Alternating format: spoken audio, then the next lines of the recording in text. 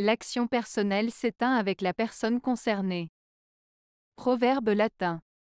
Ce proverbe latin signifie que les actions accomplies par une personne ne peuvent avoir d'impact qu'aussi longtemps que cette personne est en vie.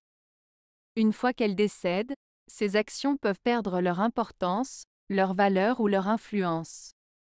Autrement dit, chaque individu est responsable de ses propres actions et il est important de réfléchir aux impacts qu'elles peuvent avoir sur le long terme.